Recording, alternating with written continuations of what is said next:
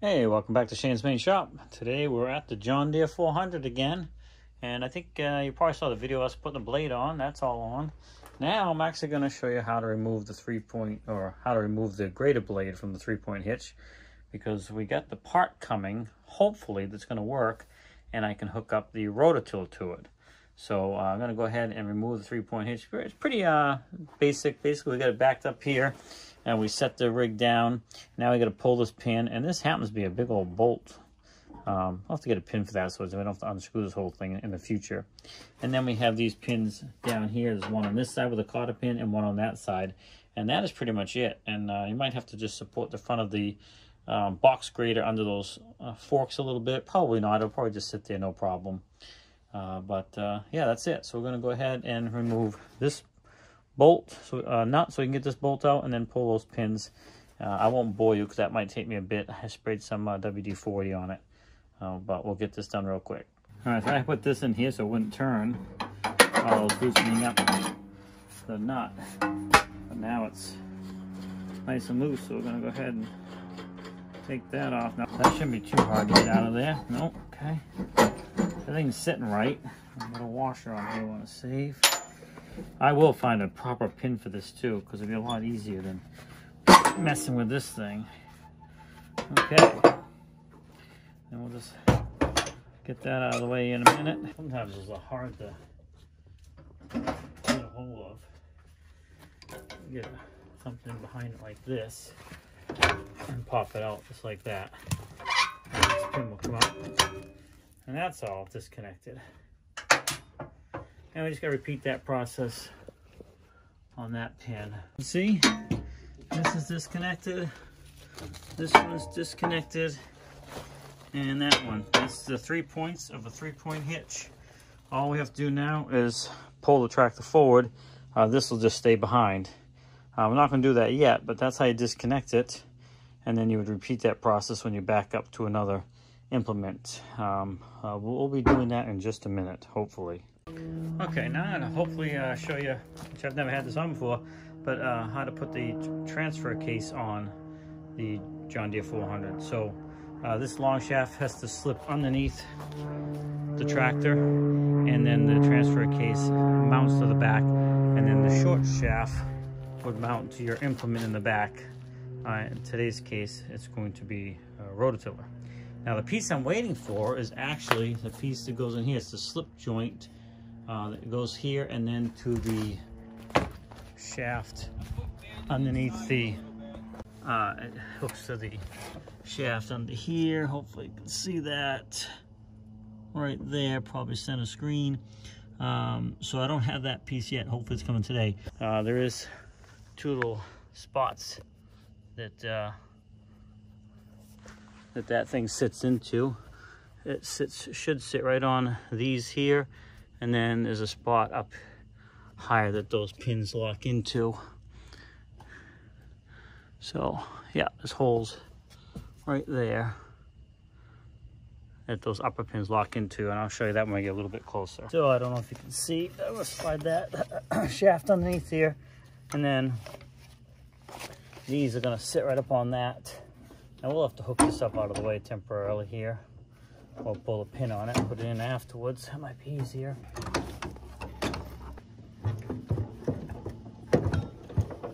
Oh, I got it.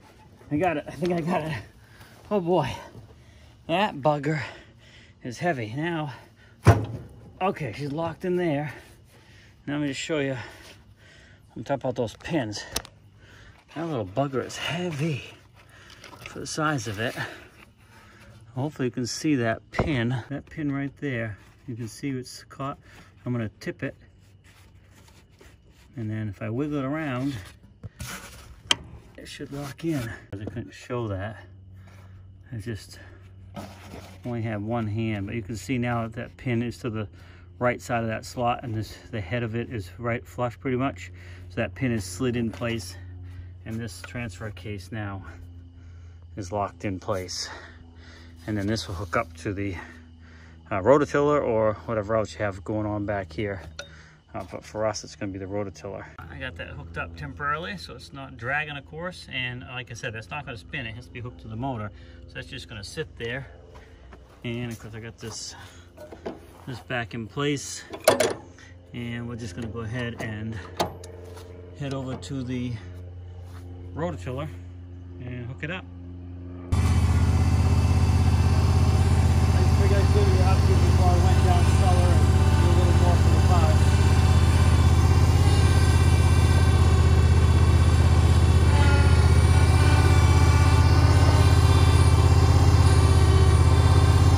Backed up here and I just noticed, which is actually a good thing, this already has uh, the shaft, the bar on here, so I can take this one off. This one's probably already set to the, the right angle, so we'll just leave it there.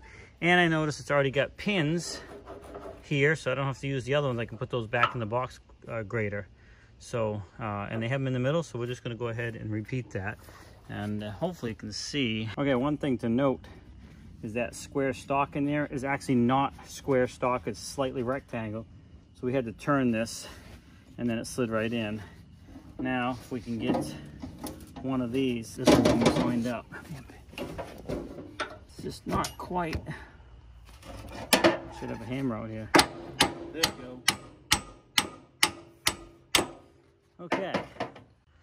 All right, so you can see that's a little bit of a challenge. This thing's fairly heavy. Uh, so now we gotta go ahead and get this second one, but we can, once we get one in, it's not so bad. Here we go. Okay, that one's in. Should be a little bit of a challenge. Uh, you wanna do this, I'll lift up on the uh, snowblower, rototiller I mean. Yep. It's got to go right here. Oh, through the side here. Yeah, yep. it probably goes this way. It'd be easier to do the pin though. It's how it was. All right, so as I said, we've never had this thing on before.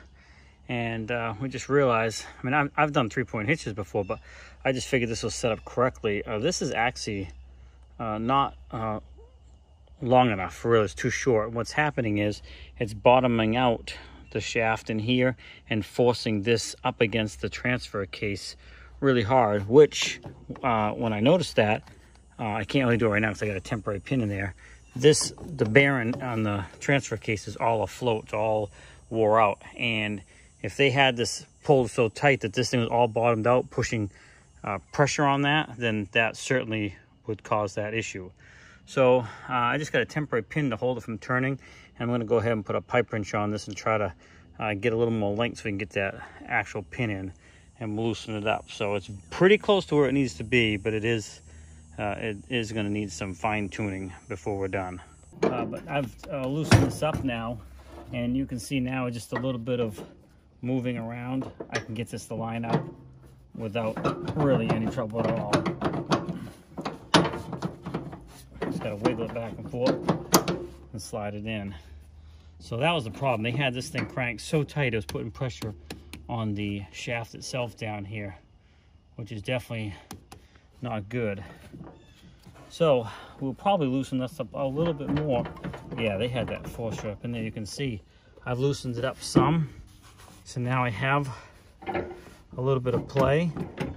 But the play now, unfortunately, is in the in the bearings up here, not in the shaft where it should have been out here. So anyway, it is what it is. I'm going to go ahead and put the cotter pin on this thing and lift it up and move the tractor. Now, again, the snowblower is not going to, uh, I keep saying snowblower. Just because I really want a snowblower for this thing and I don't have one. This rototiller is not going to rototiller right now because we're still missing that one part to hook up the front drive shaft. You can see it, uh, not drive shaft, but the PTO shaft. Uh, you can see I just have it hanging there. So uh, let me just get the cotter pin in this thing and get this tractor back over to the um, garage where it belongs.